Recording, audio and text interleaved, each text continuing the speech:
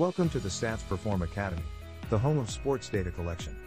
In this video, we would like to introduce you to the world of TV data scouting. Right now, you might be wondering what a TV data scout is and what they do.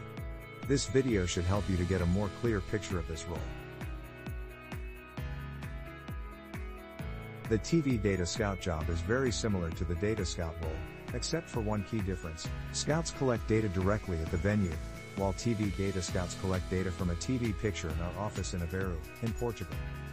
TV data scouts can cover many different sports, for example, soccer, basketball, handball, ice hockey, tennis, and volleyball. This video will show you the TV data scout role from the soccer perspective.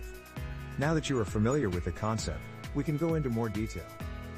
The scouting process begins when the manager assigns a match to a scout and they confirm their attendance. On the day of the match, the scout goes to the office and prepares the position. It is important to arrive, at least 30 minutes early so the scout can set everything up and address any technical issue that may occur. Once the event starts, the scout collects all the required data from the match, using our custom built software. A scout is expected to collect information about the venue, pre-game events, goals, fouls, etc. We deliver high quality data. That is why, it is important for a scout to be as fast and accurate as possible. Finally, when the match is over, the scout might need to have a short feedback call with our support team, to confirm any details, or to explain any complicated situations that may have happened. We hope this video has helped you to understand the TV Data Scout job a little bit better. For more information check the FAQ section.